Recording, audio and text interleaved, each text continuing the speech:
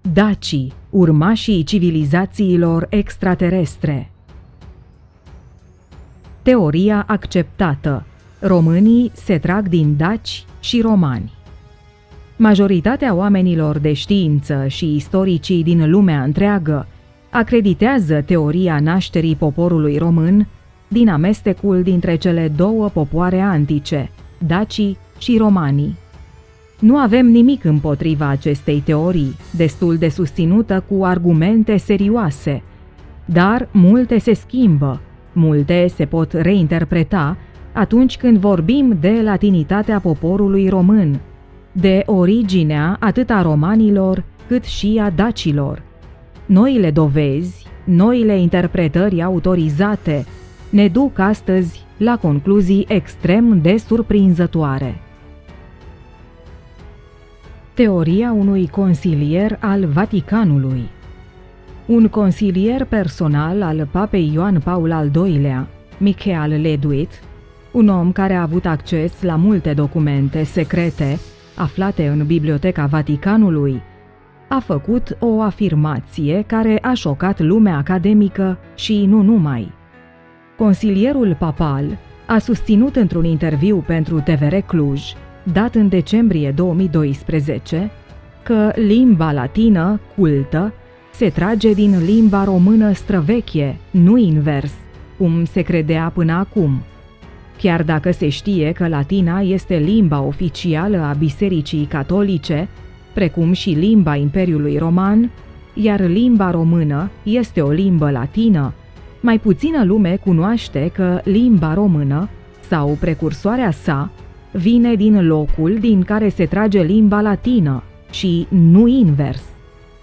Cu alte cuvinte, nu limba română este o limbă latină, ci mai degrabă, limba latină este o limbă românească. ADN-ul ca probă concludentă în urmă cu câțiva ani, niște oameni de știință din Occident, împreună cu cercetătorii de la Hamburg, au prelevat ADN-ul unor morminte străvechi de pe teritoriul Daciei. Rezultatul, evident, a dus la concluzia că românii sunt urmașii dacilor, ramura nordică a tracilor, și că gena dacă este mult mai persistentă decât cea romană. Totodată s-au găsit și deosebiri importante între ADN-ul DAC și ADN-ul TRAC.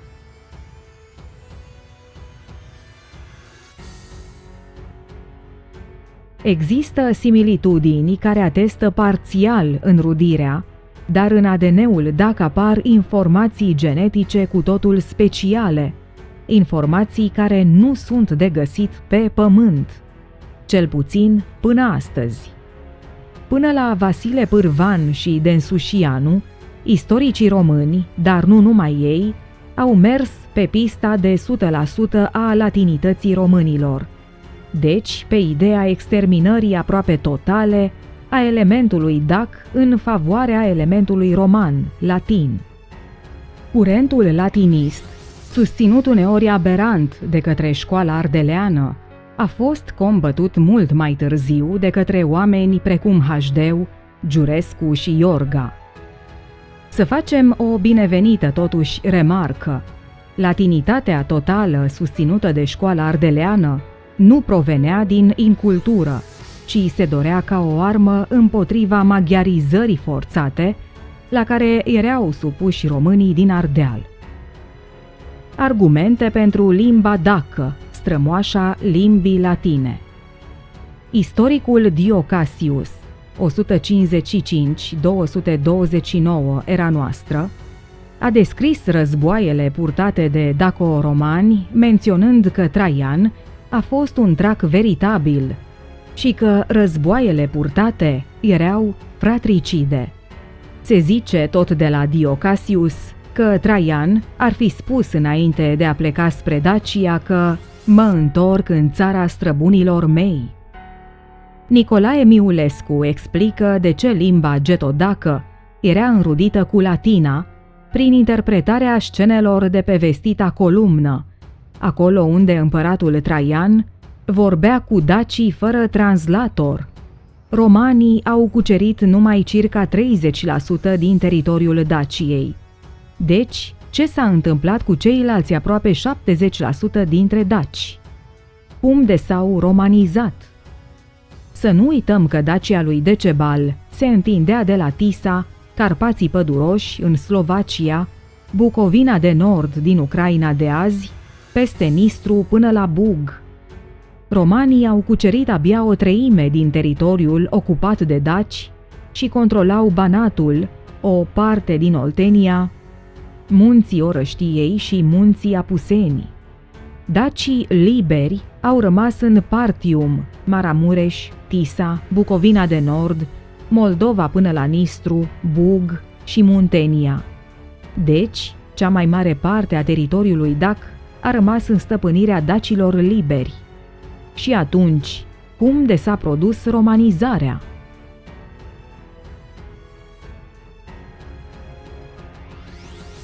Ca ultim argument, reamintim că românii au fost cuceriți de mai multe popoare, în diferite zone și în diferite epoci. Și, culmea, nu ne-am maghiarizat, nu ne-am turcit, nu am adoptat limbile germană, polonă sau rusă. Ce știe Vaticanul despre noi și noi nu?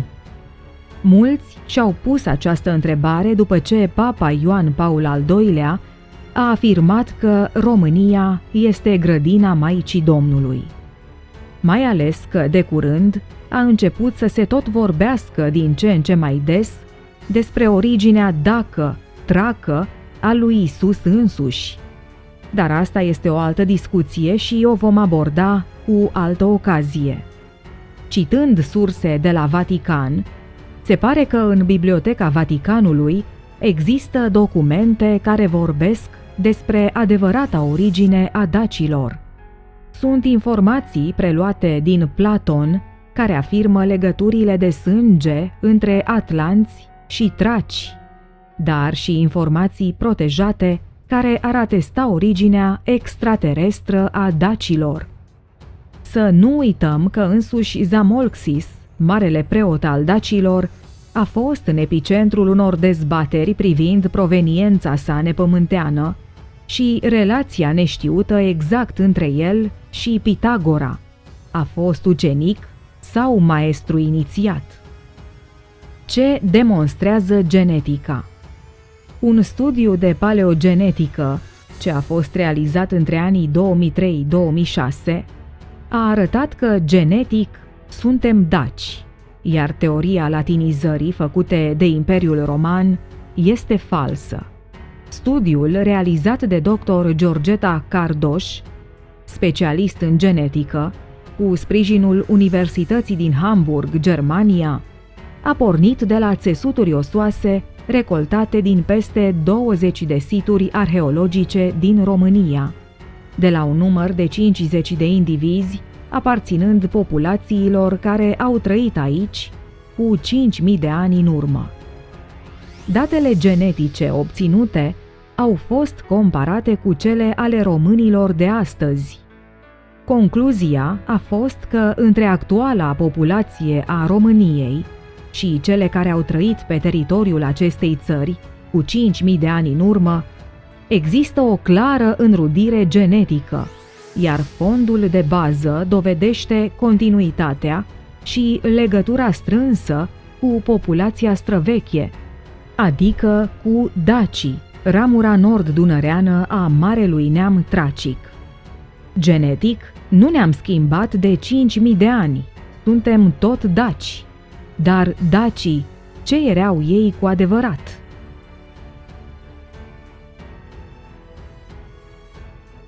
Misterioșii Ainu În Asia, la peste 20.000 de kilometri distanță de cele mai apropiate populații albe, mai precis în insula japoneză Hokkaido, trăiește o mică comunitate ce a supraviețuit milenii întregi, și anume populația Ainu sau Ainos.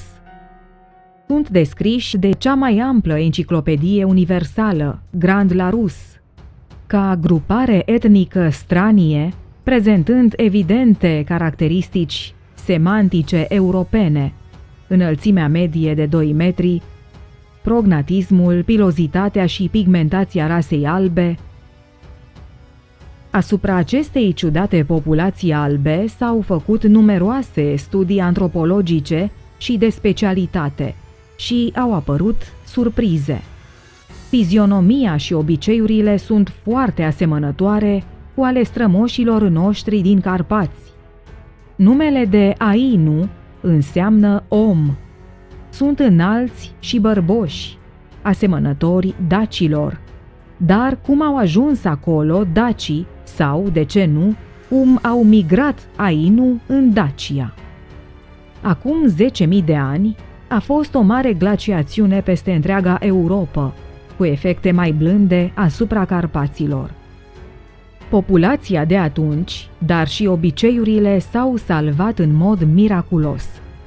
Există teoria migrației dinspre Europa spre Est, dar și argumente care susțin invers. Indiferent care teorie este valabilă, legătura de sânge între Ainu și Daci este evidentă. Ainu prezintă caracteristici genetice asemănătoare dacilor, dar cu o diferență profundă în grupele sanguine. Există o rădăcină în grupa sanguină a Ainu de negăsit în întreaga lume. De aici și teoria extraterestră a originii acestei mici comunități. Și dacă Ainu este la bază extraterestră, rudele lor cum oare or fi? Și mai este o ciudățenie. Ainu s-au aflat tot timpul între două imense popoare și ca putere și ca demografie, China și Japonia. Și totuși, niciodată nu au fost asimilați. Așa cum nici rudele lor din Carpați nu au fost la rândul lor asimilate, ci au asimilat, adică ei au latinizat.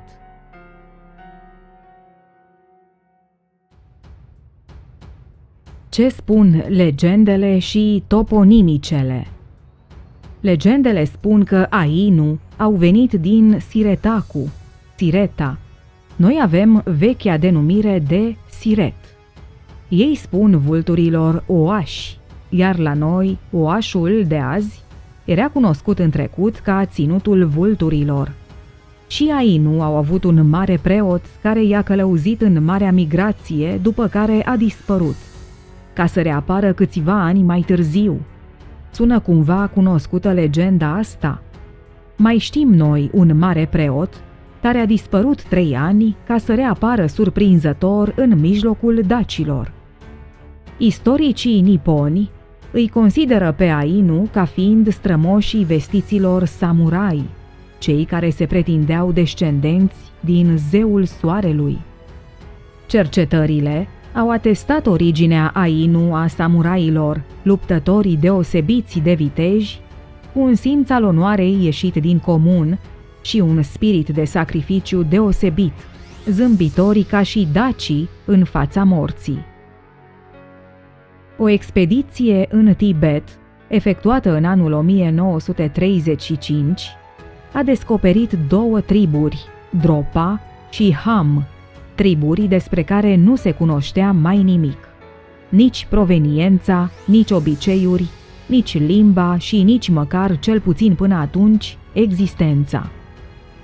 Analiza sanguină a relevat că grupa populației de sânge este unică în lume, iar în cursul examenelor medicale s-a putut constata că au un puls situat sub limita normală într-un oarecare fel, se aseamănă cu misterioșii Ainu.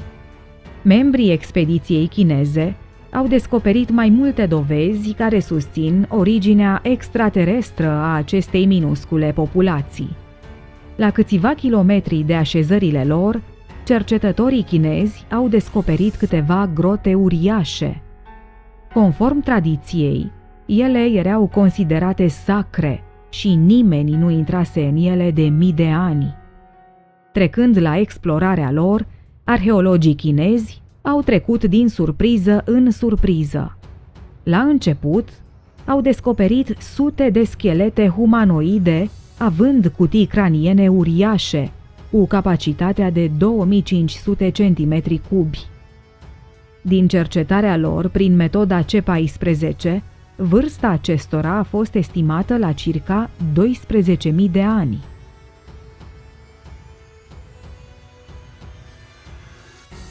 Pe pereții grotelor s-au descoperit desene perfect conservate. Acestea reprezentau ființe umanoide cu capul protejat de căști sferice și precizau cu o exactitate uimitoare poziția soarelui, a lunii și a câtorva zeci de stele din perioada de acum 10.000 de ani. Iar o frescă reprezenta o escadrilă de mici nave aeriene apropiindu-se în zbor oblic de munții terestri. Teoria avansată de chinezi a fost că cele două triburi au aterizat forțat cu mii și mii de ani înainte pe Terra, dar, din diferite motive, nu au mai putut pleca. O parte dintre alieni au migrat pe întregul pământ, căutând resurse sau tehnologii pentru a-și repara navele și a putea pleca dar se pare că au eșuat. Asemănările genetice, atâtea câte sunt, îi apropie doar de Ainu, deci implicit de daci. Și când vorbim despre daci, nu vorbim de tot neamul trac, ci doar de triburile din zona orăștiei și a munților bucegi. Teoria originii extraterestre a unor oameni nu este o himeră, Ufologii susțin tot mai argumentat că actuala populație terestră reprezintă de fapt ființe mutante, provenite fie din încrucișarea pământenilor cu rase extraterestre, fie din mutații genetice realizate de către o civilizație superioară. Finalitatea acestui proces, susțin ufologii, ar viza transformarea tuturor oamenilor de pe Terra într-o rasă hibridă, moștenind calitățile celor două specii din care provin. Deși pare absurdă sau chiar hilară, această teorie nu este deloc exagerată, cum pare la prima vedere. Argumente apar mereu. De exemplu, din ce în ce tot la mai mulți indivizi apar anomalii care demonstrează începutul modificării corpurilor umane – organe interne poziționate altfel decât în mod obișnuit, sau mai multe organe decât este fiziologic normal, dar și alte structuri sanguine.